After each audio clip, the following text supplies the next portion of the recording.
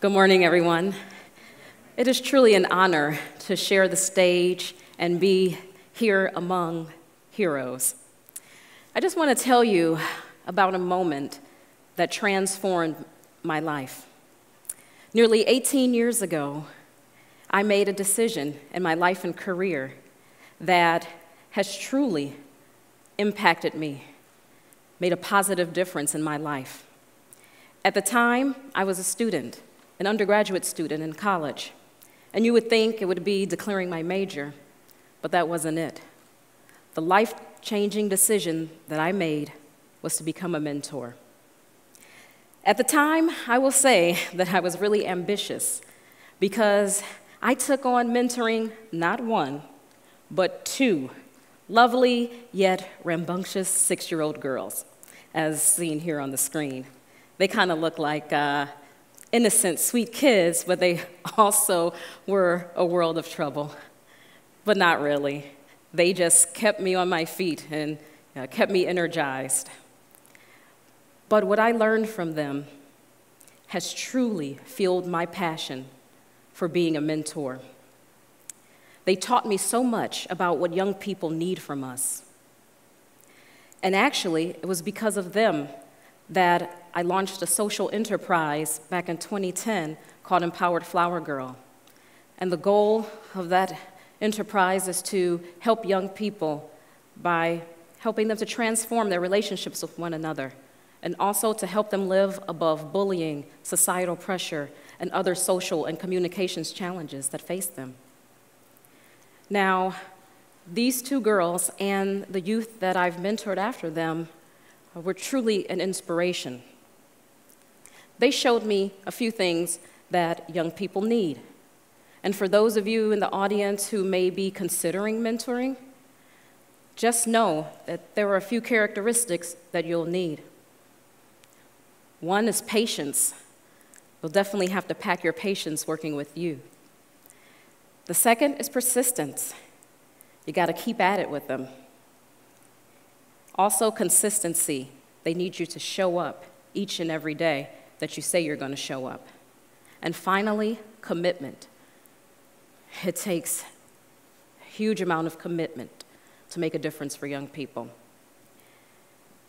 In addition to the youth that I've mentored, what really, really ignited the fire under my feet to step up in this area of youth empowerment and development was when I stumbled upon a report from an organization called Mentor, the National Mentoring Partnership. In that report, they stated the value and benefits of mentoring for young people. They mentioned things like young people who had a positive role model outside of their parents were more likely to graduate high school and attend college. They also were less likely to engage in risky behaviors such as truancy, uh, premarital sex, as well as uh, drug use. But what really, really challenged me and caused me to be diligent about this work is when I learned that one in five young people in this country will grow up without a mentor. That means millions of children and teens across the United States may face growing up without a positive role model. And they specifically laid out populations of youth that need mentors, like youth who are in and aging out of foster care. Now, there's also a need for youth who grew up like me with an incarcerated parent. So many young people who are lacking one or more of their biological parents definitely need people like you to step up and step in. Now, I know I talked a bit about a deficit, but there are organizations and groups out here who are making a difference in the lives of young people, and I definitely want to acknowledge their work because they are doing tremendous things in our communities. Organizations that I admire, like Big Brothers Big Sisters, uh, how they pair and, and match mentors and mentees together. And also, Girl Scouts and Boy Scouts. Uh, they have done tremendous work in outreach to our youth, and I definitely want to acknowledge their work. But there's also a few groups where we may not have really looked at and explored how they're engaging and connecting with young people. They're definitely having an impact in the lives of young people by employing these qualities of patience, persistence, consistency, and commitment. They're reaching young people where they are. And the first group that I want to talk about, I actually learned about them uh, while watching a CNN report, uh, roughly around three years ago, 2015. Uh, I was very fascinated by this report, and uh, I was also saddened because the first group that is definitely making an impact and connection with our young people are terrorists, in particular ISIS.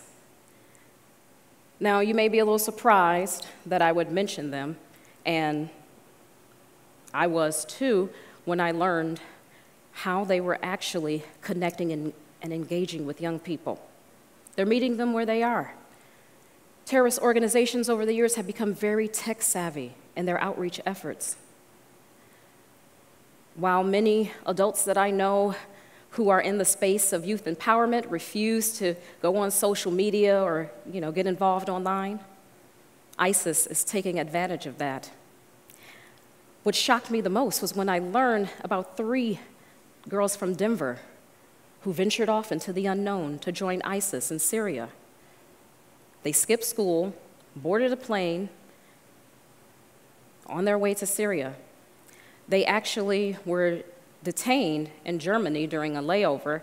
Thankfully, the FBI got notification from their parents and other agencies that these girls were headed to join ISIS. And I thought to myself, what would possess a 15 or 16 year old girl to want to join ISIS? Well, I quickly learned that the reason is because they had a, a sense of isolation. Uh, they felt alone. They wanted to be a part of something. At that age and stage in their development, young people, they just want to belong. And organizations and groups like ISIS, they're tapping into that. Another group which has stood the test of time and that has been actively recruiting and engaging young people like no other organization, that would be gangs. Some of us in this room may know a young person involved in gang activity. And chances are, if you aren't aware, they probably are involved and you just may not know it. Because nearly 1 million children and young adults are said to be involved in gang activity throughout this country. I know personally a young relative who joined a gang after his parents' divorce. Um, he felt abandoned by his father, who wasn't there for them. His father wasn't there, and the gang was. They became family. So, groups like the Bloods and Crips and Aryan Brotherhood, and also MS 13, which has definitely been on my radar and on the radar of the FBI. MS 13 is connecting with young people who many of us are rejecting. While we're busy building walls, MS 13 is building bridges to new Americans, to immigrant children from South and Central America. They're welcoming them, giving them opportunities in this new, new land. So let's really think about how we can engage young people. What is our level of commitment? I think our level of commitment has to be as strong as the next and final group because they are quickly emerging as one of the top recruiters of young people in our communities. And many people may not be aware of this, but sex traffickers, they're connecting with our young people. Pimps have a way of tapping into the minds of young people like no one else I've seen. I've watched documentaries about how they actually study youth development, psychology, so that they can use their insidious uh, recruitment tactics to have young people join them. Whether it's trafficking drugs or trafficking their body, these pimps are engaging our young people and connecting with them. The young people in our communities who people have given up on, our throwaway babies are being accepted with open arms. Those young people who are aging out of foster care. youth who come out as gay, lesbian, bisexual, or transgender, young people who've been kicked out of their parents' homes. They're being received by these traffickers. So we have an opportunity today. And I don't want to use scare tactics, but what I do want to give you is a sense of urgency, why it's vitally important for us to come together and make a difference for young people. There's so much we could learn from these groups. If we have the patience, the persistence, the consistency, and the commitment in the lives of young people, we can truly make a difference for them. We have to match their level of dedication. And I challenge you if you don't think that you have what it takes to be a mentor, or you are not sure whether you are the person who will make a difference, just know that young people, well, although, although we're at the Hero Roundtable, they don't need superheroes. They just need someone who's there. So if you have a big heart and a little time, please consider mentoring. It could, make a, a it could truly make a world of difference. I know that because I've been a mentor for nearly 20 years now, and I will say that it's had the biggest impact in my life. It has transformed who I am and who I will become. And you can do the same for a young person in your life. Thank you.